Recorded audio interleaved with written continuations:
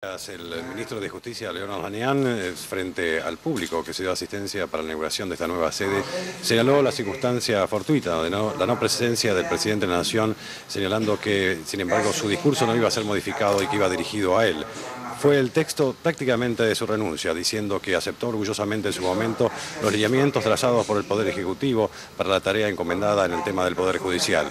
Pero las transformaciones estructurales, también los fondos eh, que de alguna manera el Poder Ejecutivo ha decidido dar a la justicia para su transformación, son solo el principio, porque también los hombres designados para llevar adelante la tarea judicial son importantes. Soy leal a mis convicciones, he sido leal al presidente y de alguna manera de esta forma cerraba el discurso el doctor Arañán dando por concluida su tarea de un año y medio al frente del Poder Judicial.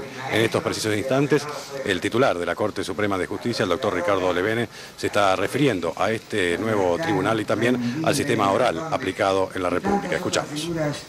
De primera categoría y primera línea que trabajaron igual que nosotros, con menos suerte, por supuesto.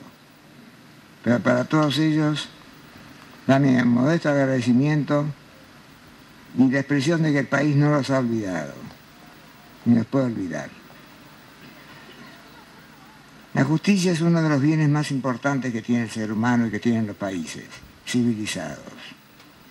Justicia, educación, salud y seguridad. Esos son los cuatro pilares en que se asienta un Estado de primera línea.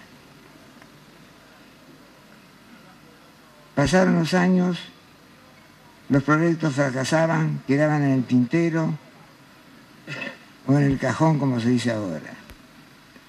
Pero hubo una decisión política de repente que iluminó este pavoroso problema de la reforma judicial. La decisión del presidente de la Nación, que sostuvo la obligación de salir al frente a tanto inconveniente y plasmar una reforma que se encargó de hacer su ministro.